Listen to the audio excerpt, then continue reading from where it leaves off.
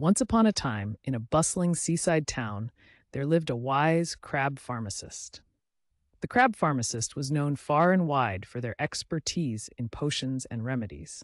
One day, a curious customer came to the pharmacy seeking advice on a remedy. The crab pharmacist listened carefully to the customer's concerns and kindly offered a recommendation. The customer, however, had doubts and questioned the crab pharmacist's suggestion. Instead of getting upset, the crab pharmacist patiently explained their reasoning, helping the customer understand. Grateful for the valuable insight, the customer left the pharmacy with a smile on their face. The crab pharmacist felt content, knowing they had helped someone in need. As they looked out at the ocean, they realized the importance of listening and respecting the point of view of others.